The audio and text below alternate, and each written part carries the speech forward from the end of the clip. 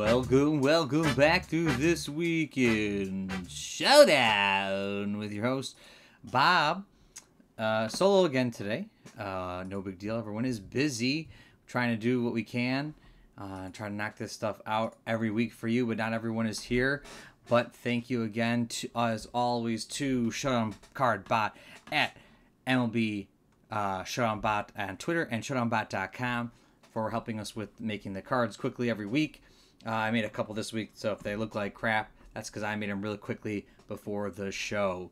Uh, first up this week, uh, we have Mr. Joey Votto, who's been on an absolute tear, which uh, blows my mind in, in general. And um, I guess he just missed um, getting his, like, what is it, eighth in a row. One, two, three, four, five, six, seven, eighth in a row. There, it hit off the wall. Um, just ridiculous the other day. So he in the last week though he's had seven home runs, eleven RBIs, uh, the on base of 448. It, it, was funny because you know remember Votto used to have a good uh, good home runs, and then like for a couple years just totally dropped off. And so it is cool to see again him having this a uh, little bit of a home run tear. I mean, he's only got 21 in the season, only, but a third of them came in this past week. So it is a really weird card for Votto, but he does get the nine on base here. Um, 17 home run, that's great. A lot of walks, which is Votto like. A lot of strikeouts, which is just baseball in general. Interesting card though. Love how beautiful this this card uh, looks too. How crisp it is. Um, I got Mr. Braces himself, Rafael Ortega. Um, I don't know this player at all, but in the past week, he had four homers of his uh, six home runs in the season, eight RBIs, uh, eight runs, 11 hits, 500 for the week. So he's relatively new. Um, but you get the nine. Uh, he's got some pop right now. We'll see how the rest of the season falls out. I mean, just literally had a ridiculous day uh, yesterday. Um, or this card would not look like this. But 430 points, you're getting a 9 on base, 8, 18 home run with a lot of double range here, a lot of singles. A really good card right now. 430 seems like a lot for this, but it does have a lot of value in being B speed. It helps. It's interesting. I don't know if I I feel like it's a little high for me, but it's probably right. Um, so I don't know. I don't know how I feel about it just yet, but I, I do like it. OF plus one is nice. Next up, Austin Riley. Um, he had five homers this past week with 13 RBIs, you know, seven runs, 11 hits, tearing up this week. He's up to a nine on base card, third base plus two with home run. So this is more like the range that I'm looking for for my nines. Um, a lot of strikeouts, a lot of singles on this chart, so it's, it is what it is. But um, yeah, I don't know. It's it's not too bad. I kind of like it. Um, feels like a really solid player for 360 but we'll see. We'll see. He's got 22 home runs in the year, um, and we'll see how it plays out.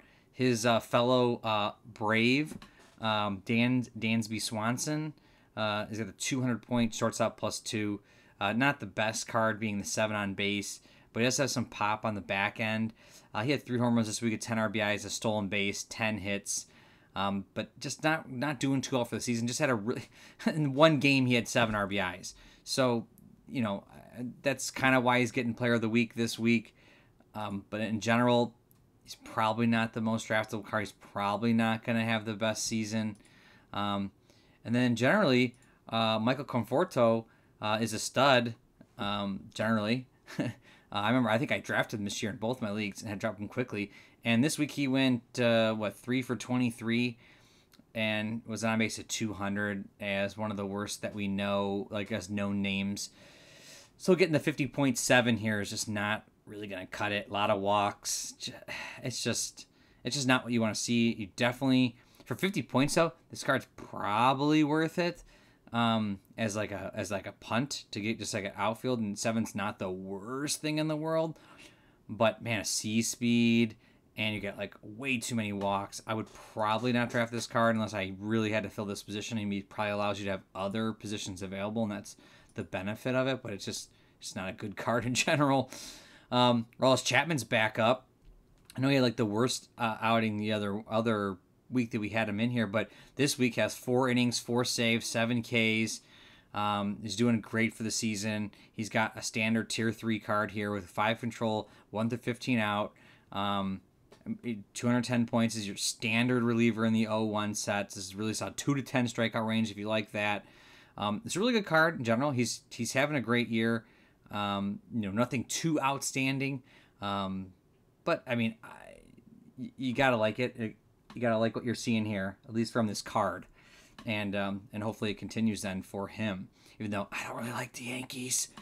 Um, Adam Wainwright at 100 years old, still pitching great. He's getting a tier two card here at 530 points, getting that 69. He's actually having a pretty decent season. But this week he picks up two wins, had 14 uh, innings pitched with three, 13 strikeouts. Um, in general, just above average, I think. I actually don't think he probably will finish tier two. I think he'll finish in the tier three range here. But we'll end up seeing how he plays out. Very draftable card for 530, and it's awesome to see him up there. And then our boy Shohei Ohtani again somehow just keeps appearing every other week. He has two two uh I guess he only had one start this week, but his last outing before that was good too. Picks up the win, seven IP, so he's actually increasing his workload a little bit here. He had a seven, a six, and a seven the last uh, go around, but five Ks. He's got 100 Ks and 80 innings pitched. He's picking up the tier two card, but only the five IP because again he's been on short status most of the season, getting pulled early. But it is awesome to see his card. I really, really hope that he finishes really high this year because I really want to see something good from him, especially batting and pitching. Sandy Alcantara uh, rocking the, the the the street what do they call it? the city city wise jerseys, the hot Miami's coming in with another again the three of them at 530 this week, uh, third points, but another tier two card, pretty standard here. He's having a really good season, but this week picks up the win uh, with with a no decision as well this week. 15 Ks and 13 innings, 3.12 ERA for the season. Big ground ball range here. Gotta love that. That's probably gonna help out a lot of people. So definitely look for something like this if I can. I, I grab that kind of player and then pick up a couple of good defenders um, on, on the infield, and then uh, Mr. J. A. Happ kind of running the rounding the bottom out here. Uh, he pitched against Detroit and left nine earned runs in three innings. Had to give up ten hits. His last few outings have not been good for the season. He's got a 6.77 ERA. He, he's underperforming in the strikeout numbers. So you're getting the 90.1 control guy here. He's a what is it, a tier five, um, just just not good. And he's only five inning pitch. I, I definitely stay away from this card. I'd rather punt harder and get someone way less points and way less less than 90.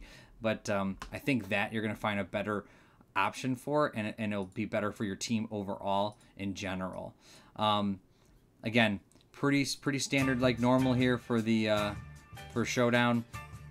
A lot of good pitchers this week. A lot of interesting new batters, and we'll hopefully see some. Um, so maybe some of these new trade deadline faces as we go forward here. I know Kris Bryant just hit a home run. Anthony Rizzo, Javi Baez, everyone's hitting home runs with the teams they got traded to. So it is great to see that for everyone. So thank you again for listening to this week in Showdown.